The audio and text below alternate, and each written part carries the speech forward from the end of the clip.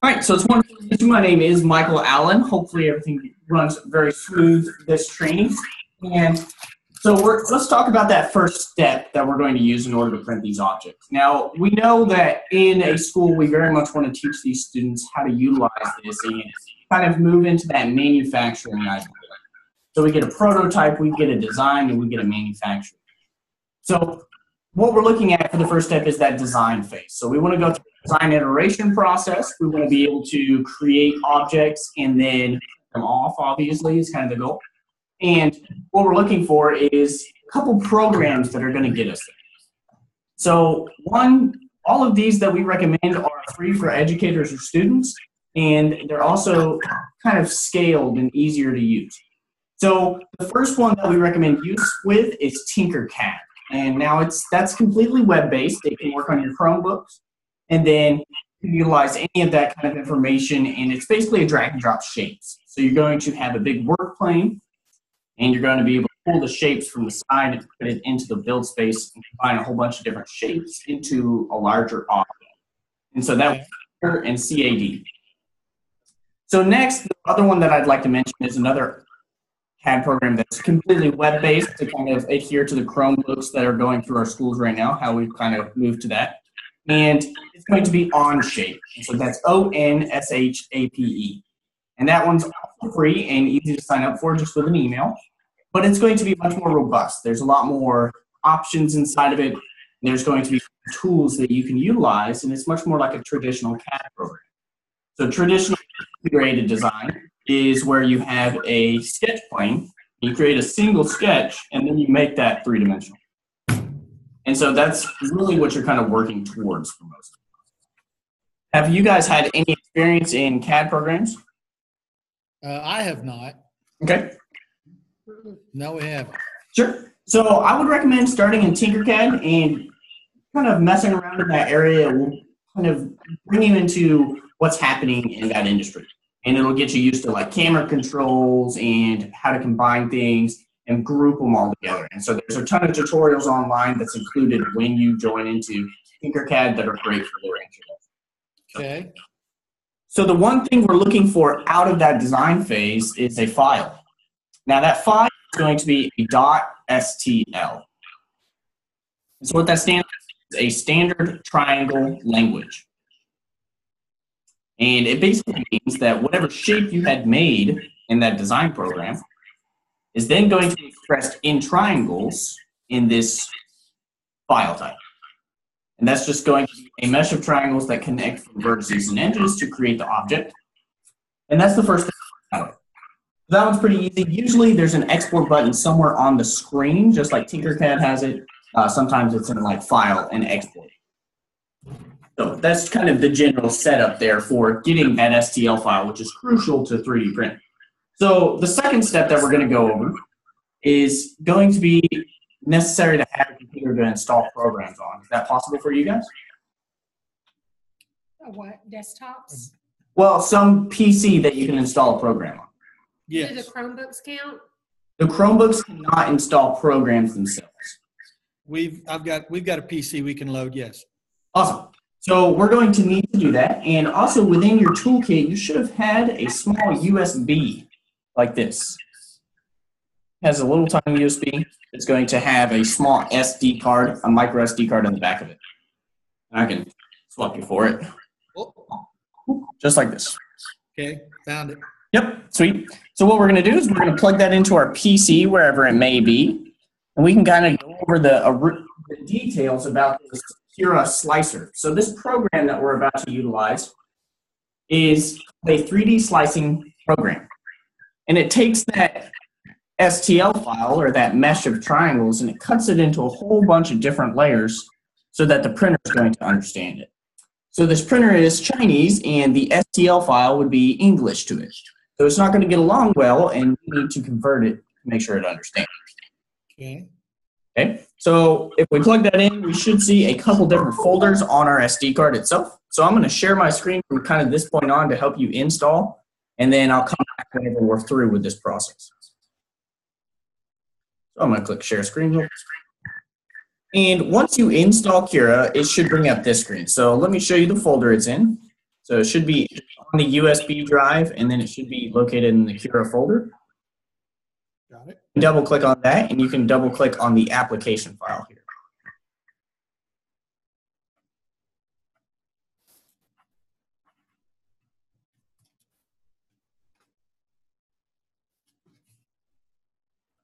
Okay. All right, and it's going to go through its install process. It's just going to kind of do the introductory thing like the user license agreement, and then it's just going to be click, click. And then when it hits that new machine wizard or it asks you to select a printer, um, just let me know and we'll go through it.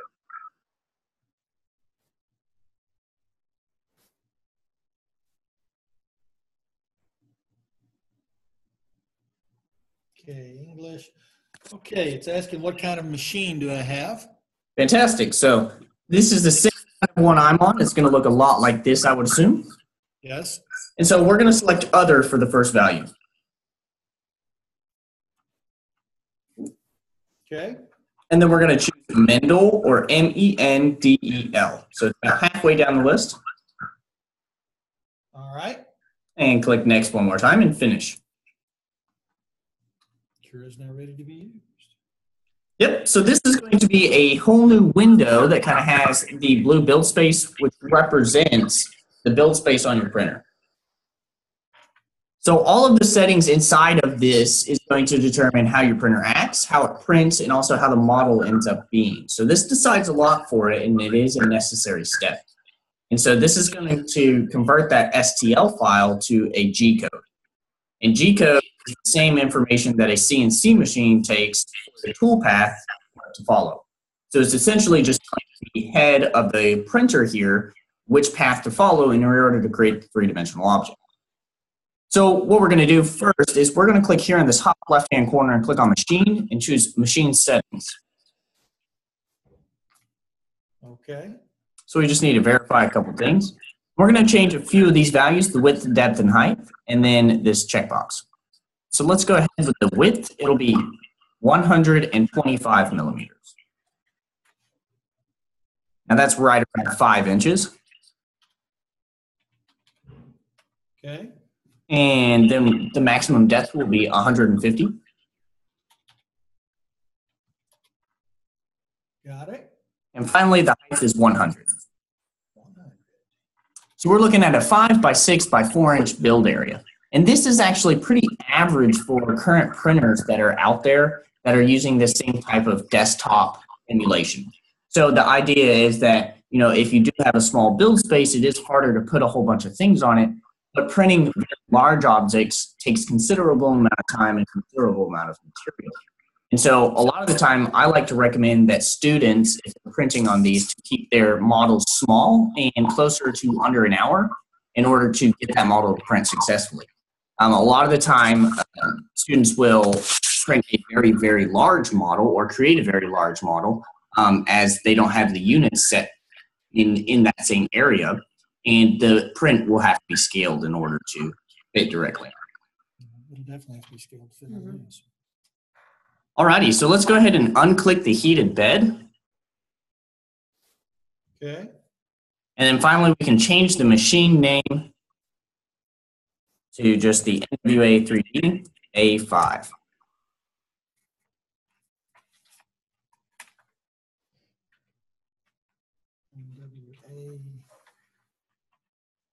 NWA. NWA 3D A5.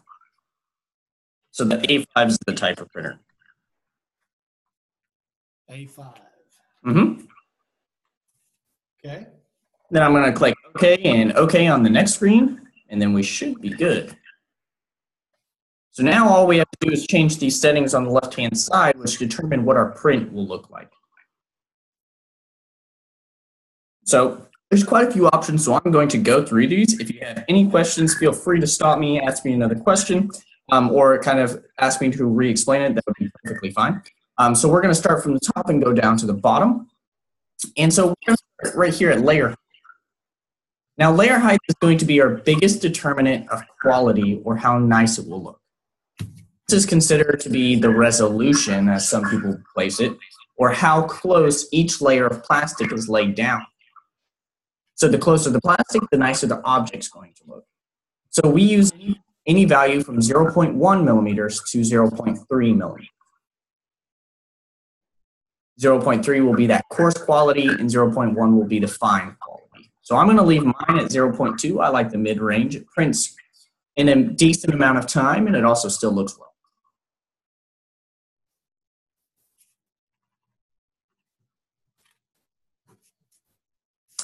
So next what we're going to have is shell thickness. And shell thickness determines the width of the outside wall of our model.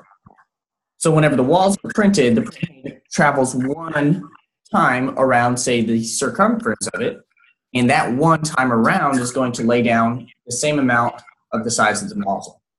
So our nozzles are 0.4 millimeters. So every time that nozzle goes around one circumference, it'll lay down 0.4 millimeters of plastic. And that happens every single time it goes around.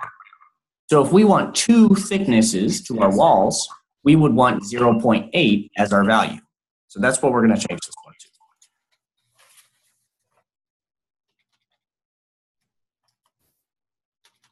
You may notice that the text box goes yellow after you have typed in 0.8 because our nozzle size down at the bottom isn't set to 0.4. Now, the nozzle size is a hardware, piece of hardware on the printer itself, and you'd have to change it in order to change this value. So we want to make sure that this is set to 0.4 and it stays that way. And then you should see that box go white because it's happy. Okay. We'll see a little bit more of this whenever we work with our model when we put one in here. So next we have enable retraction, and it's a, just a checkbox, and we want to leave it checked. This helps to make sure that the print doesn't string or plastic doesn't kind of look like spider webs happening all over it. Basically what it's doing is while it's printing, it pulls the filament back a little bit so the printer head doesn't drool the plastic out. All right, now the bottom top thickness is the exact same thing as the shell thickness, but it determines the top and bottom of the model instead of the perpendicular walls. So we're going to change that to 0.8. So that would make the thickness for all of our walls the same. And that's just how I prefer it. So if we wanted to go up a thickness in every single wall, we would increase this value by 0.4. So we'd look, look at 1.2 millimeters for three shells. Next we're going to have fill density. And this determines how durable our object is going to be. So this is the area in between the model, the empty space that's filled in to support the walls in the top and bottom. So I'm going to leave it at 20, and we'll take a look at it when we look at the model. Next, we're going to have print speed. And print speed is 50 millimeters per second. This is going to be the fastest we want to travel for our print. You can travel slower in order to increase quality. If you travel faster, it's possible that your model may end up with defects in some areas or it could knock it off the build area. So 50 is about the maximum you're going to want to go. Now, if you slow it down to 35, it can improve the quality of things like spears or very hard curves because it, it has more time to travel.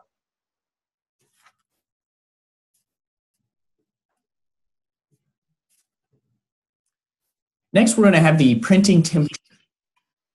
And we're going to change this value to 220 degrees Celsius. This is our preferred printing value because the plastic that we use has an extra composite in it that makes it a little bit flexible, so it requires more heat to be effectively liquefied. So we're going to leave it at 210. It'll work well there. And then we're going to choose our support type. Now this is something that Cura generates itself, and this is for things such as overhangs, so areas that don't have support underneath them or don't have a part of a model underneath. So that's going to mean like if you have a robot and has an arm standing out kind of holding midair, it's going to need something to print up to that midair arm. So it's basically going to construct scaffolding for our object. And that's going to happen all over the object so it can three-dimensionally. And those are removable later. Okay. Mm-hmm. So we're going to change that. We're going to change that to everywhere for now, just to make sure that any models we do select will be able to print successfully with supports everywhere. As you get more comfortable with kind of seeing how supports work and the orientations of print and which is better, you may not have to have that value as often.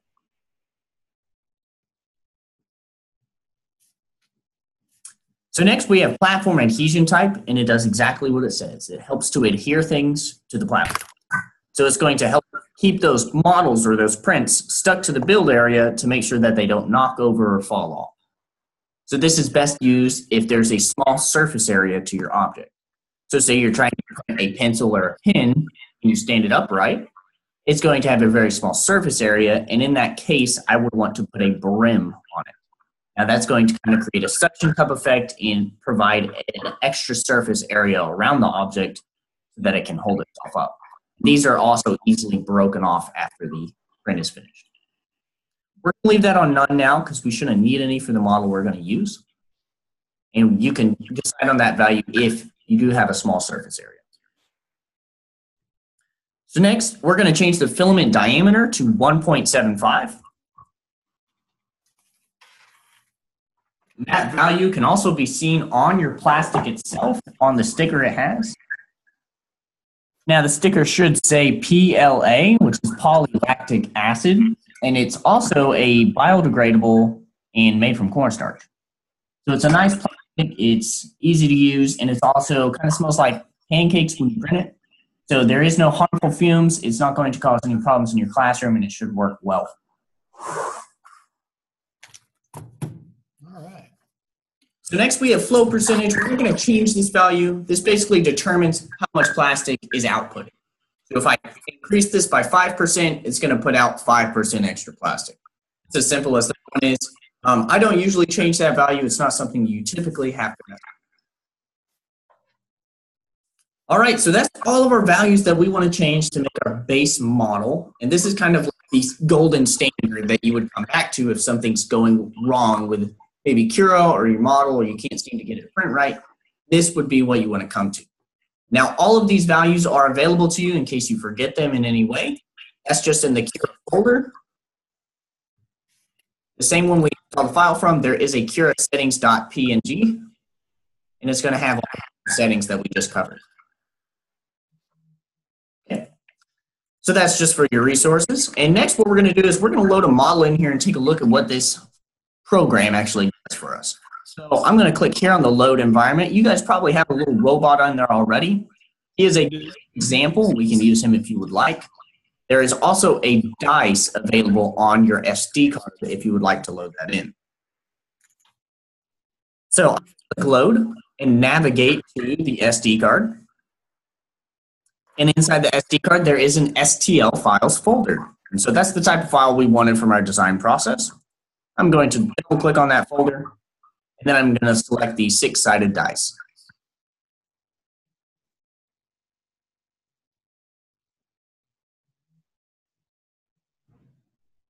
So when I finally click open on that, it should pop up that dice in the middle of my build area.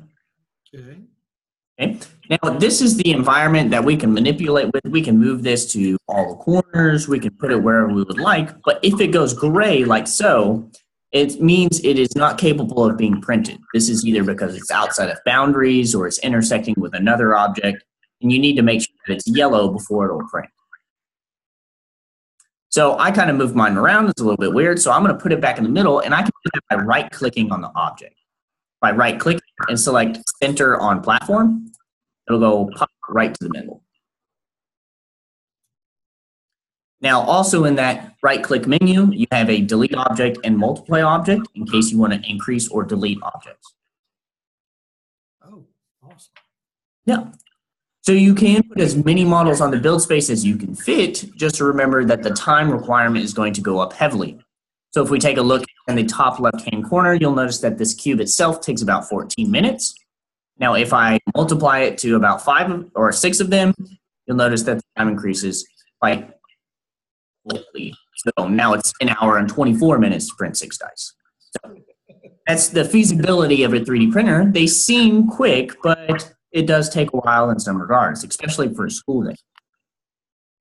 So I'm going to go back. To, I'm just going to delete each of these just by right click. Excellent. So a little bit about camera control, so you can move it around a little more. If you right click, it should rotate it for you. So I'm right clicking and dragging. If I hold the shift key and right click, it'll pan, and go side to side. And then you can zoom in and out with a scroll wheel or a trackpad is possible. That's just going to be, you would think, in and out. Excellent. So that's just a little bit more about the environment. Now let's take a look at these tools that we have in here as well. So we're going to have the rotate and scale tool, which are very important to make sure everything prints right. So if you left click on the object, you'll notice that these three boxes in the bottom up. And so that's going to allow us to move it and rotate it or orient the, prod, the project we're printing in the correct orientation.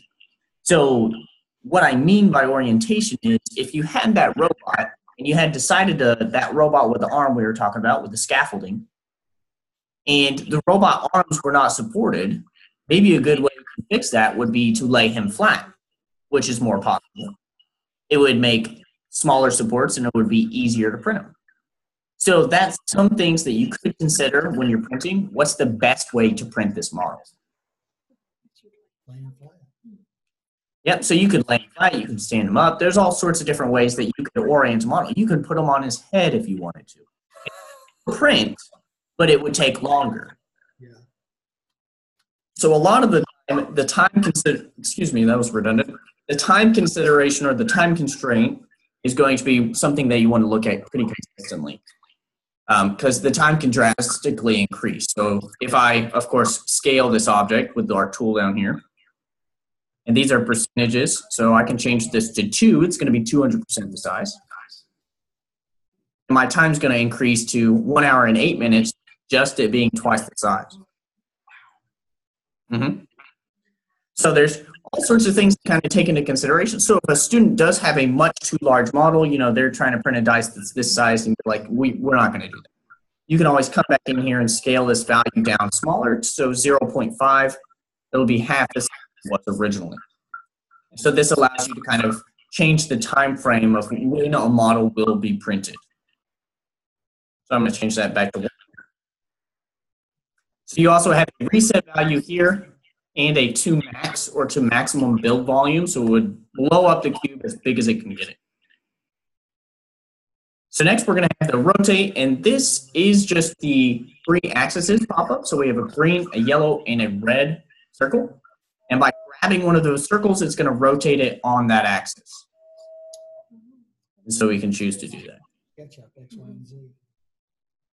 Yep, so it's just going to be the X, Y, and Z. So the printer considers this to be X, this to be Y, and then of course to be Z. All right, so that's about all of it, except one other thing that I'm going to show you that's very important to me, and this is pretty much the view I always look in. Now, if we click here in the top right-hand corner, you'll notice it's called something called view mode. And this allows us to change how we're looking at the object. So click on view mode and go down to layers. Now your robot probably changed colors. So now he's an assortment, kind of like this. And so the assortment of colors is pretty easy to explain. So I'm going to look at the top of this just to show you. Now, here we have the red is the outside perimeter or our first shell. The green is the inside perimeter or the second shell. The dark blue lines is how the print head is going to move. The yellow is infill or top and bottom. And then if you cut into the object like so, you'll notice that it has a lattice structure on the inside. So I cut into it by the slider here on the right-hand side. Now this lattice structure is going to be that durability I was talking about earlier. So if we come back over to the fill density, and I were to change this value to 30 this time, watch the interior of the model. It'll generate it in a second. So it's going to be much stronger in this orient or this type because it has 30% infill instead of 20. So this cube itself, since it's a square, or it's a cube, excuse me, is going to have a durable shape by itself. So generally, a fill density of 10% is more than happy enough for it. So much less, now that's going to decrease our time and decrease the material we use.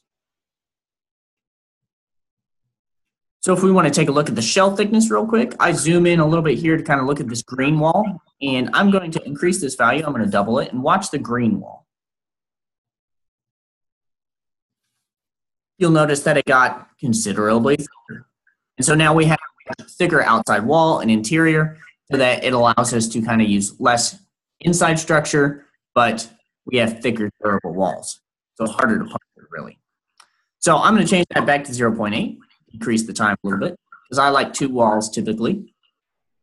Now, if I increase the layer height, that's going to increase the amount of layers that we see here. So if we kind of look at the you'll notice that it is cut into XY layers. So that's how the printer is actually going to see it. It's going to print each individual layer by itself. So the last thing I want to check on is the very first layer to make sure that it's on the build area. So if you look here, I have it all the way down at one and it does look like it's sitting on the build plate, so it should be good when we print it. So I feel happy about it. We have sliced it, we've prepared it. And now we can go and click File and Save G-Code. So I had mentioned that file type a little bit earlier. That's going to be our Chinese that the printers understand, and the STL was the English that we understand. So I'm going to click on that and I'm going to go ahead and save it just on my regular SD card.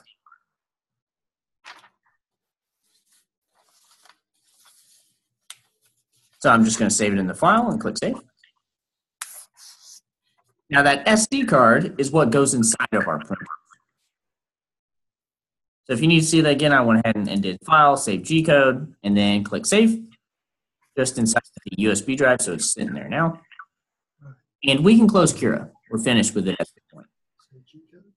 So all of your values that you set in there will save for your account. Now, if a different student came and logged in or a different teacher came and logged in, you would have to reset those.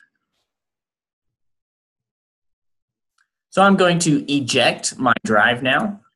Now, redundant in this day and age to say eject your drive, but due to the fact that if it doesn't save the G code completely, the printer will stop in the middle of it and just sit there. And it's going to be heated up and it's just going to stay there because it didn't have something to tell it what to do. It never got to, hey, stop printing. So we want to make sure that, that it does finish. So we do that by clicking, right clicking on the object, excuse me, on the SD card and clicking eject. If it's not ready, it'll tell us there. I'm going to unplug it now. Now I'm going to come back to this screen over here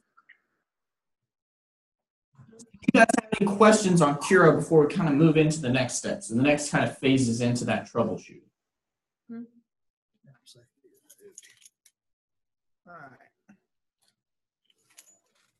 So we have our little USBs, and in the back of it, there is an SD card. little SD card out. And we're going to place that inside of our printer. So on our printer, if we look at it, we're going to have this yellow kind of faceplate here and a button and a screen.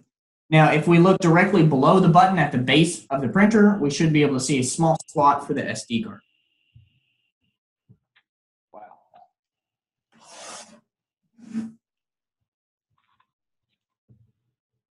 So that should just click into place like kind of every other SD card slot. Has a little spring in it.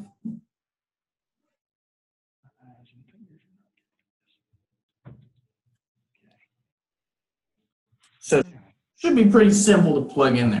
That was step three. So we had done, the first step was design or STL. Second was that slicer, prepare it for the printer. And then third was transfer it to printer, which we just did.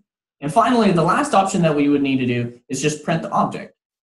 Now, since our printers have gone through shipping, they've gone through FedEx, we have no idea what's happened to them, even from Fayetteville to Alma. So what we're going to need to do is we're going to check out the printer. We're going to go over kind of those basic troubleshooting steps. So normally we'd be ready to print. We want to we want to make sure that we have it set up correctly. So I'm going to plug my printer in just from here on the side. You'll notice that there is here. Let me swap cameras for you, so you can view the printer. Now here in, on top of the screen at the base is going to be the plugin.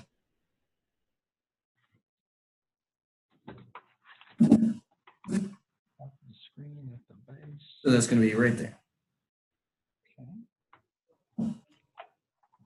So it should start up and you kind of hear the fan whirring. That just, the fan kicks on every time it's plugged in. It's just to make sure that if it's heated, it's going to cool it and that there shouldn't be any issues.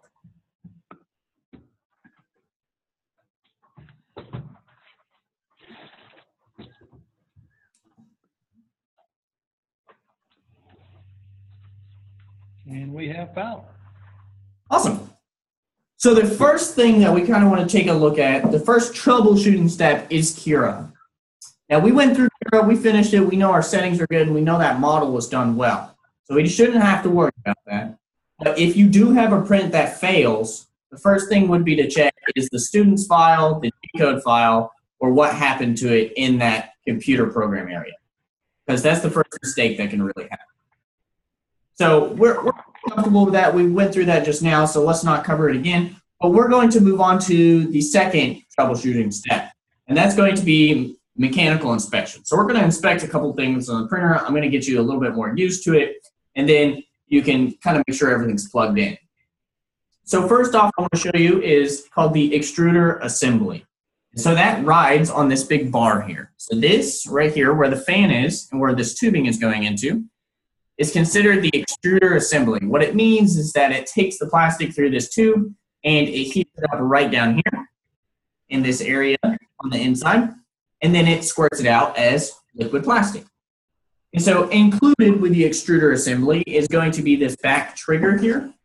So you'll notice that there is a trigger here in the back, and this is where your filament will feed from. So that's just the motor that pushes the plastic. So it's a little bit further away from the melting end, which is good. It helps us. And so I just want to make you aware of what that was. So here we have our extruder assembly. So I'll probably use that word often. That's why I like to tell you. And we're going to have our x-axis bar, which is this main one right here.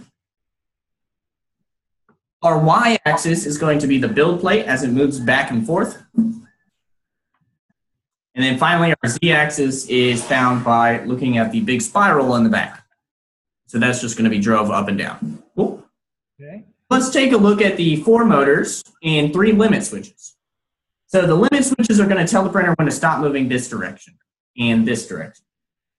So if you look on here on the inside, you should be able to see a small switch. Okay. That switch is going to tell when to stop moving and where home or zero is. So that's going to be true for all limit switches. It's going to tell the printer that's zero at that mark. And so that's the first one. So if we kind of rotate this, I'm rotating it to the right to look at the left side of the printer. This is going to be the plug-in for our limit switch. You should see it right inside of here. It should say X. Right in between the standoffs where the belt runs.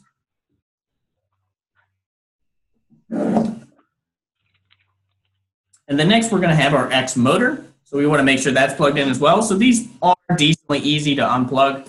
So I simply just kind of pull them out and reinsert them. So they are being they are capable of being unplugged just in passing by it. Um, but luckily they're easy to replace and put back in. So that's our X motor. That's going to drive this belt back and forth for this to ride on. So I'm going to rotate it more to the back so we can look at the very back.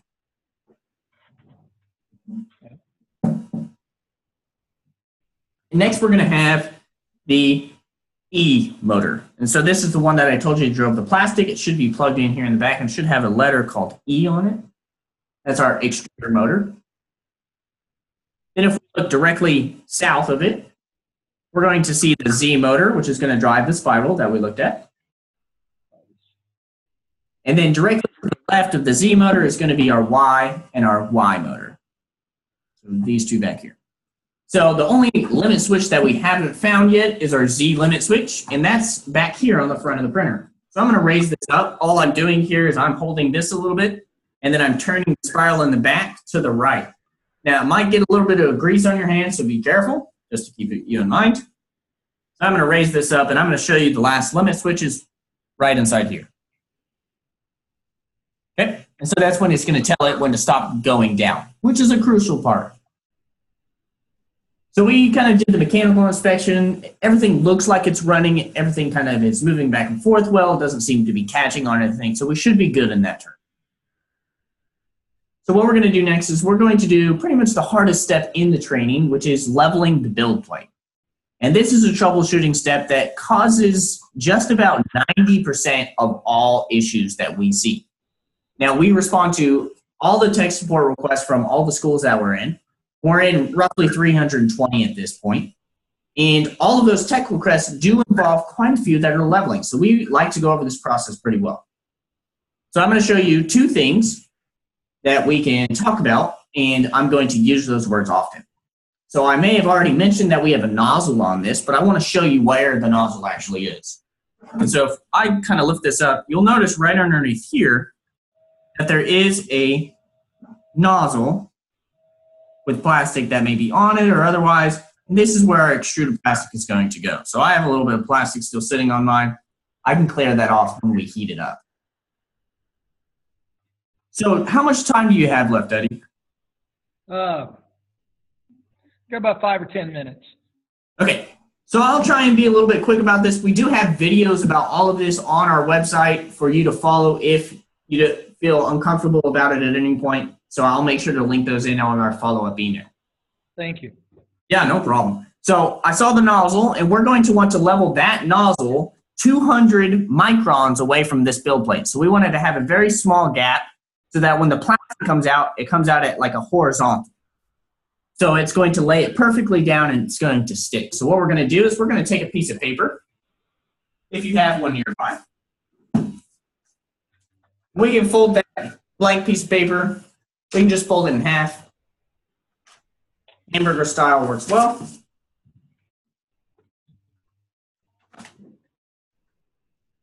I'm going to clip the last of my filament off.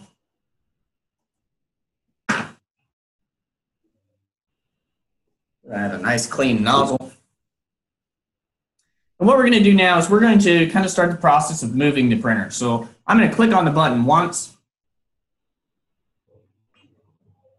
And I'm going to go to Setup and then Auto Home. So click Setup, click Auto Home.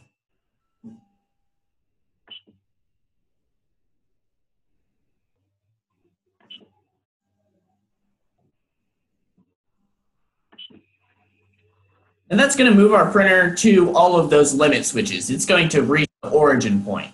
So it's going to go 0x, 0y, and 0z. And that's basically where it goes to every time before it starts printing. So the reason we did the auto home is that we want to have 0z so we can level this build plate to the nozzle we just looked at. Because we want that gap to be real nice. So one thing that happens after you auto home, it locks all the motors for its own safety. So in order to move these around again, because we will want to move the X and Y, what we're going to do is we're going to click on the button one more time. This time go to Setup again, and then Disable Motors. And that's going to allow us to move our build plate and our extruder assembly again. Okay. It's, it's locked prior. All right, so what we're going to do now is I'm going to show you one other thing before we put the paper in between. And so I'm going to tilt it kind of the side here to let you see. And you'll notice that there is a spring and a knob here. And so this spring and knob is what helps us move the build plate up and down. So if I turn the knob righty-tighty, it's going to lower the build area. So let's go ahead and put that paper in between. So I'm going to take my piece of paper and I'm going to put it in between the nozzle and the build area. So if you'll notice I'm having trouble sticking it in between, if that's true, you can push down on the build plate because it's riding on those springs that we just saw. I'm going to push down and then slide the paper underneath.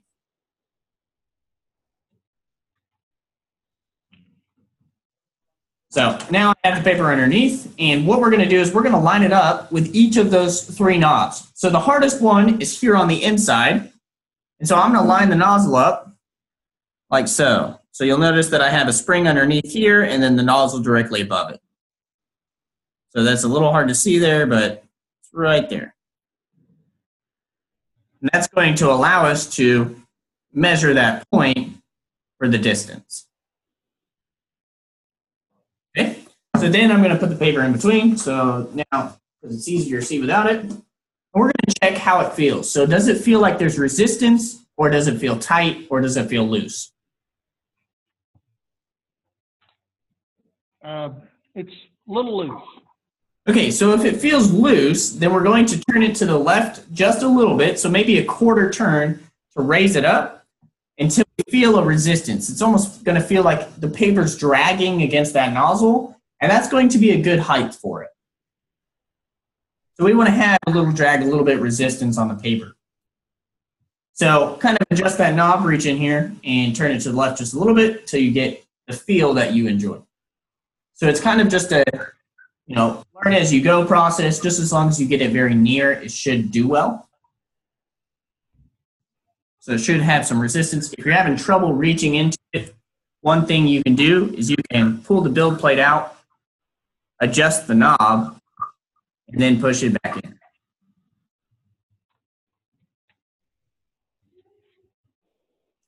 Kind of make it to where that resistance feels pretty nice. So I'm going to make mine just a little bit taller too.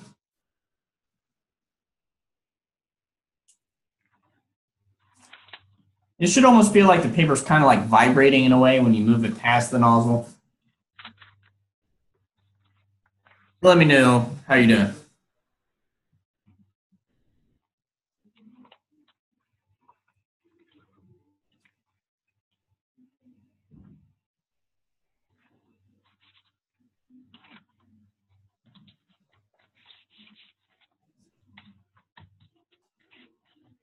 All right. You feel comfortable with it? Got a lot of resistance. Okay. If you have a lot of resistance, if it feels like you can't move it or it's like buckling the paper, that is too much. And then you're just going to turn it to the right. So it's going to go this direction. And that will lower it.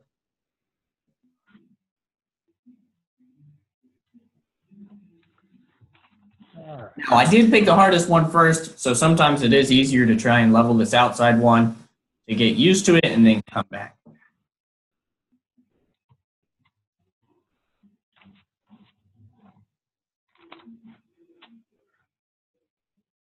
All right.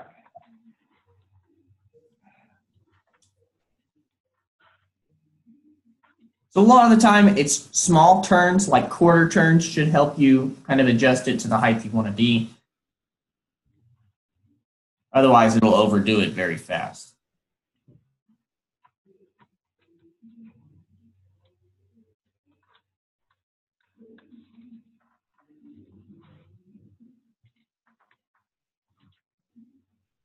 So you probably have that one pretty close. So let's try this outside one now because it's so much easier to reach for our hands. And we'll kind of get that adjustment in and dial that in. So what we're going to do is we're going to pull that extruder. We're going to pull it out here to the side and then move the y-axis back just a little bit and line up the two. So I'm going to move the camera, pardon the shakiness, to show you. I'm going to line them up like that. That should be right where I want it. And then, of course, use the paper in between the two to check the distance. So mine still has a pretty good resistance. Now, I'm going to actually make it a little bit lower because it has too much for me. So I'm going to just twist it this direction. And it should lower the plate. I went too far. All right, there we are.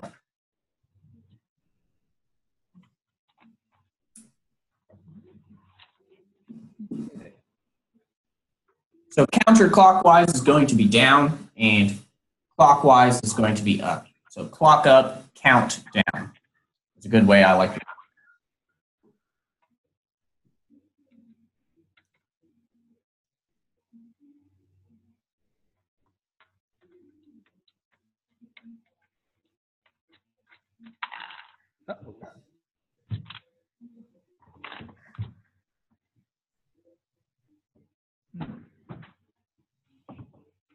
You all right? I've had a small mechanical issue here. Did one of the uh, gears pop or one of the adjustment knobs pop off? It did. So that would mean you went all the way to the left. And so it's going to be very, very close now, and it's going to be too tight to move that paper. So the way you put it back on is going to be the way to lower the build plate.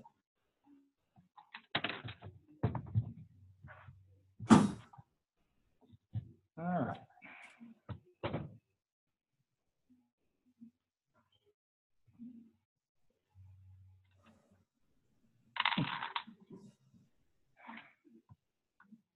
If My fingers would cooperate. Eh, it's starting to get cold outside. Our fingers stop working. That's how I always feel.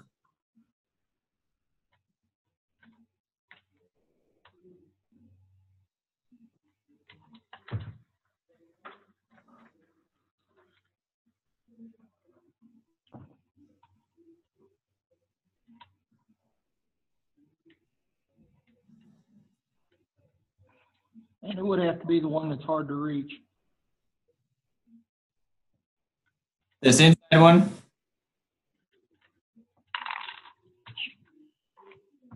so try pulling the build plate all the way out. Is it all the way forward like this? Mm-hmm.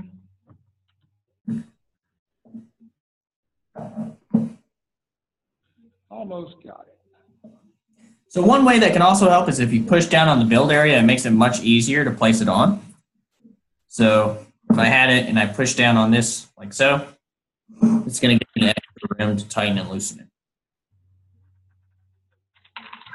Well.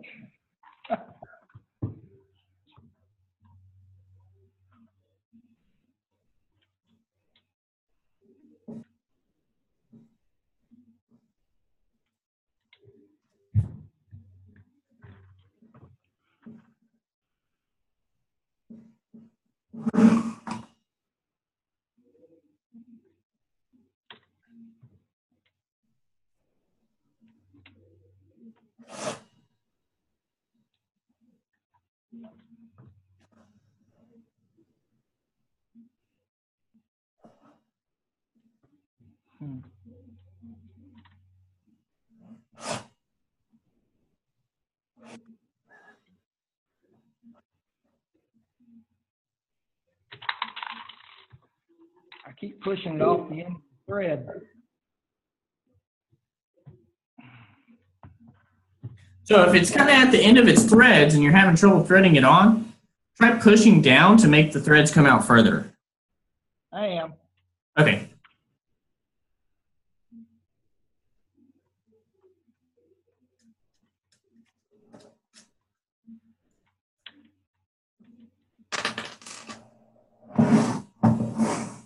All right, back in the game.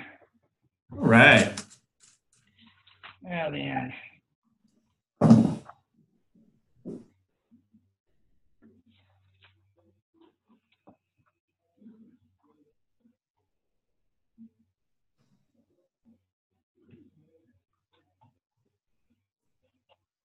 All right.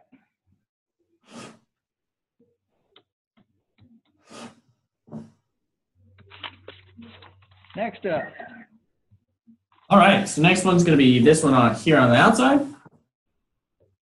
Okay. We're going to do the exact same thing. We're just going to test that paper underneath it, make sure that we can feel the drag or resistance. So mine's too low. So I can't feel anything. It feels very loose. So I'm going to twist it to the left until I feel it kind of bite into the paper and feel that drag.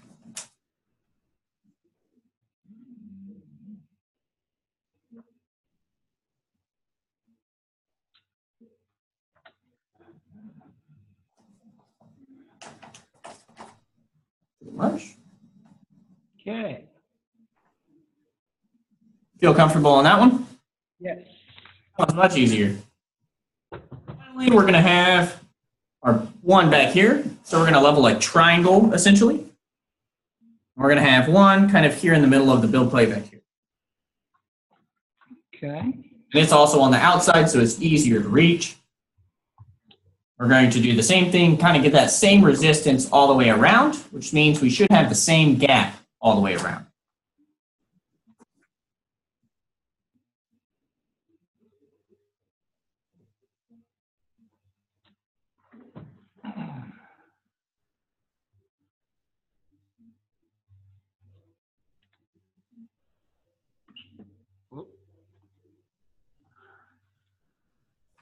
All right. Awesome. So I know we're much out of time. I know you're probably needing to go pretty soon. Um, the last thing that we really need to talk about is just loading the filament in and starting the print. So I am more than happy to stay with you as long as you would like me to. Keep going. Awesome. So what we're going to do is we're going to click on the button. We're going to go down to Setup. We're going to click Preheat PLA. So you'll notice there's also another preheat, says Preheat Soft pull. Okay. Click Preheat Soft Pull. that in the- In the manual. Sorry? I, I read about that one in the manual. Fantastic. So that is a great thing to do for unloading filament, for taking anything out, for clearing clogs. It's excellent. Um, it's pretty much our recommended way of unloading and also trying to pull out anything of the nozzle before any sort of disassembly of the printer. Okay. So what we're going to do is now it's heating up. So I'm going to move this x-axis up so it doesn't hurt our build area because the nozzle can burn little marks into this. So click on the button. We're going to do it a different way. We're going to click and go to controls. And at the bottom of the control menu, we're going to have something called move axis.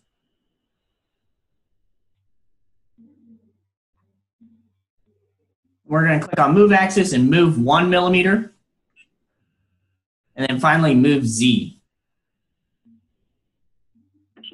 Then we're going to turn that up to about mm, 20, 25 should be good. And it should raise our printer by itself. That's going to be more of the mechanical way to do it.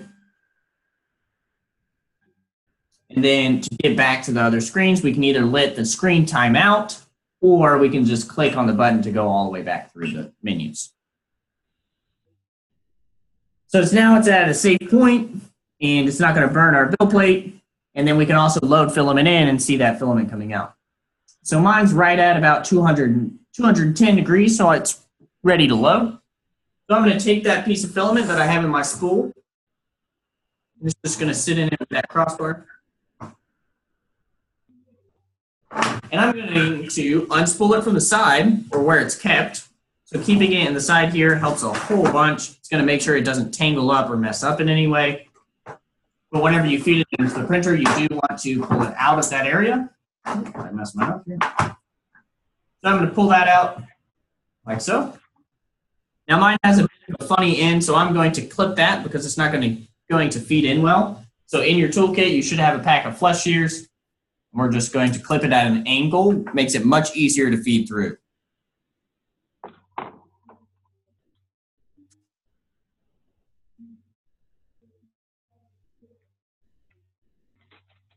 Okay. Finally, we're going to, I'm rotating this to the right, and that yellow trigger I had showed it kind of towards the beginning of troubleshooting. I'm going to squeeze that trigger and place it through that small hole here next to the Z-axis. We're going to push it all the way through the white tubing. And if it doesn't go into the white tubing and you feel like it's not quite there, sometimes twisting it around into a different direction will help, or clipping it to a different direction will help. If you get it through the tube, just push it all the way through until you feel kind of the hit of resistance, and then push a little bit extra so that we melt some plastic and push it out the nozzle. That's going to let us clear colors. That's going to make sure that our nozzle is primed and has pressure. Okay. So now if you take a look at your nozzle, you should be able to see that it has kind of like a glob of plastic under it.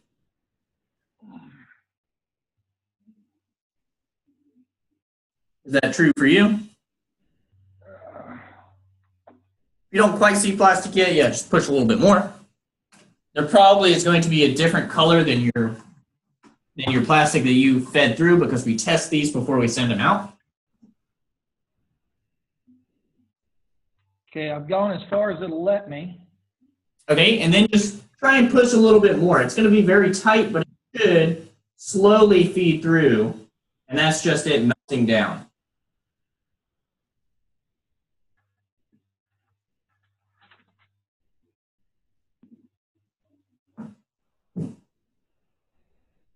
If it feels like it's at a very hard stop, it's probably not quite there yet.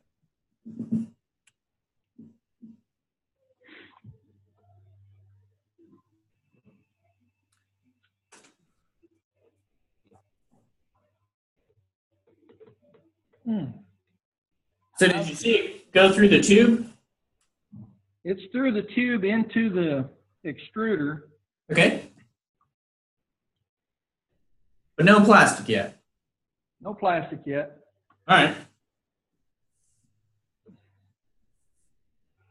Try a little bit more pressure then. See if it. Okay.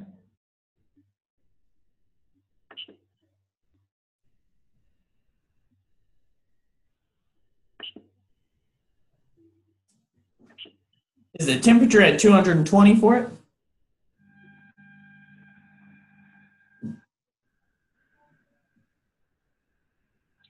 Hang on, let me raise the, the Z axis and see what I've got. Okay. Bring it up high. I can see underneath it.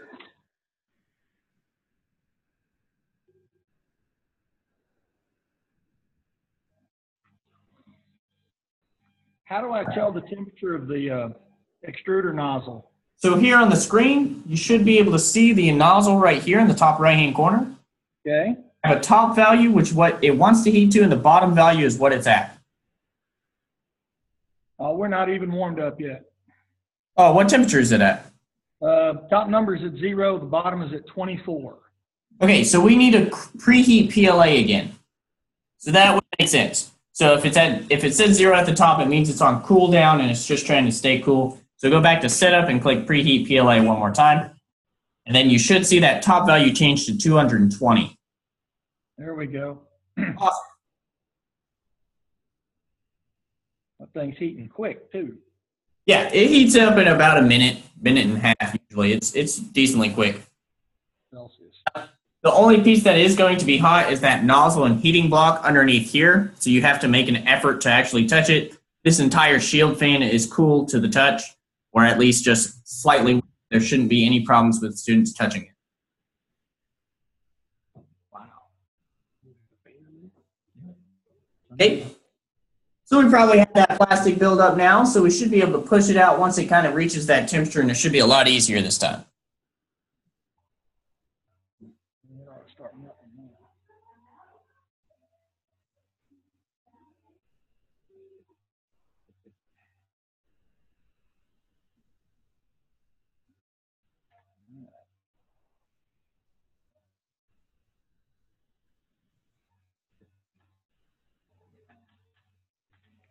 Oh yeah, here we go.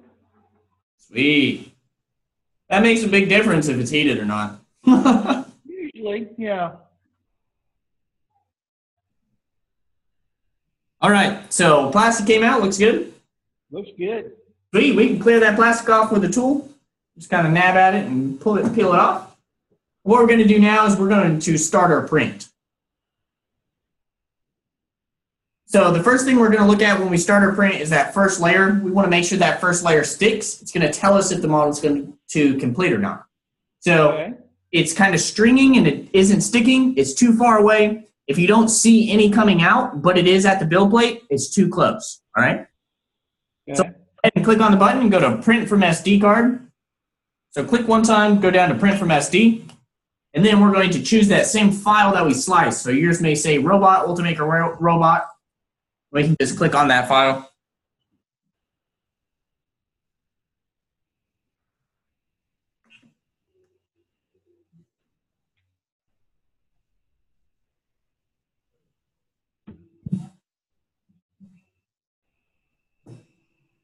All right. We have movement. Now What it's going to do is it's going to heat up first, but it's already heated, so it should be quick. Then it's going to move to origin point, and then finally it'll move to the middle to start printing.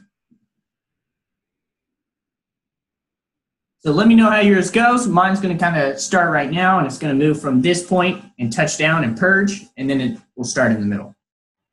Mine's in motion. Awesome. So we just want to watch that first layer of plastic lay down, make sure the nozzle is actually putting plastic on the build area. So mine's a bit far away, it's not sticking, so I'm going to move it up while it's printing.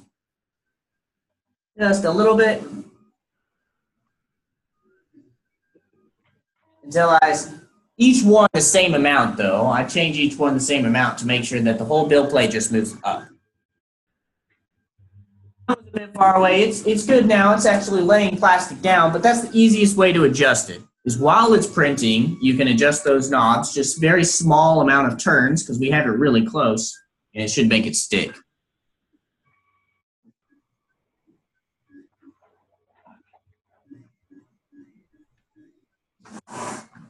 Sticking. It is Mhm. fantastic.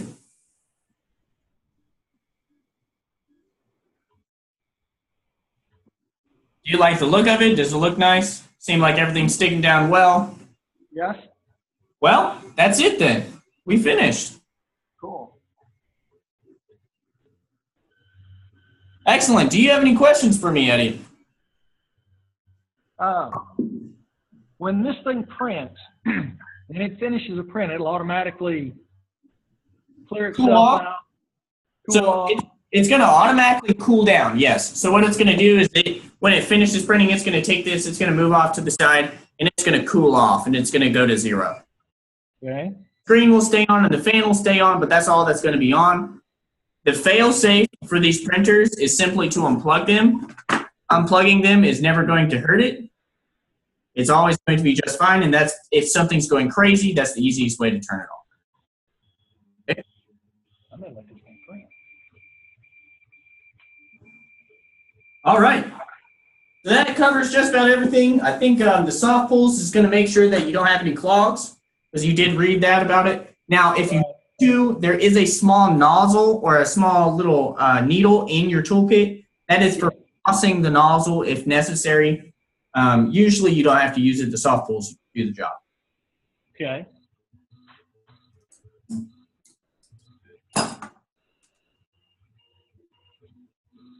Good deal.